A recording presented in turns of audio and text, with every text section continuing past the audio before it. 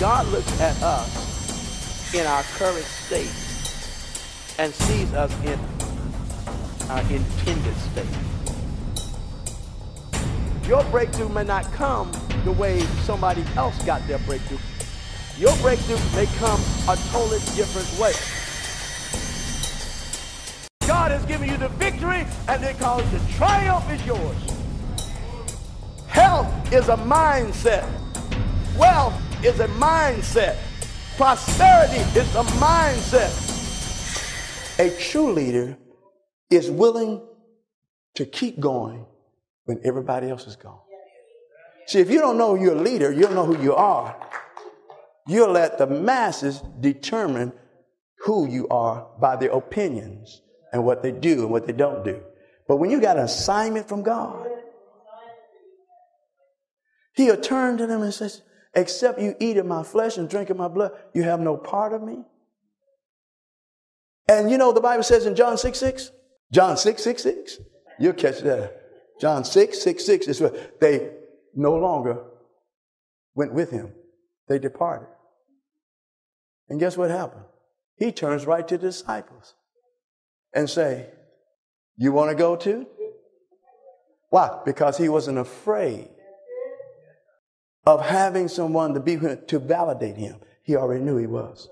Did you know he didn't have to try to bring people? They were drawn to him because he was preaching a different message than the Pharisees and the scribes all that time.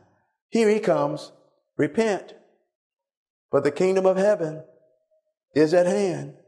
He came and he began to preach them the, the kingdom constitution. He started talking about, you know, forgive those that, you know, that persecute you. He said, pray for those that despitefully use you. Bless all the pure in heart for they shall see God.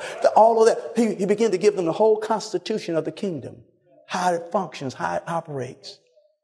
And the people came to him in droves and droves. They kept coming, kept coming. He'd go into towns. Why? Because he's teaching the message of the kingdom, not religion, not denomination, not man's opinions, but the kingdom.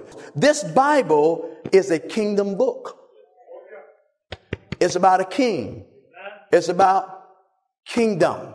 It's about his citizens, his family. It's about God's way of doing things, God's way of being right. This is the Bible, the Word of God. And Jesus talks about there's keys of the kingdom that will unlock things. And whatsoever you bind on earth shall be bound in heaven. See, he gives us the word of keys how we can live successful lives. That's what I'm sharing with you. This is what I'm sharing with you. Jesus came preaching the gospel of the kingdom. Matthew 4 17. And from that time, Jesus began to preach and to say what? The kingdom of heaven, repent for the kingdom of heaven is where? So he comes around, he says, he walks to you and says, repent, change your mind. The kingdom of heaven is at hand. Do you want it? So he comes to many people and he says, there's another way of living. When he said the kingdom of heaven is at hand, in other words, when you come to realize the way the kingdom functions, you're going to enter into a new way of living. Do you want it? Or do you want to stay where you are?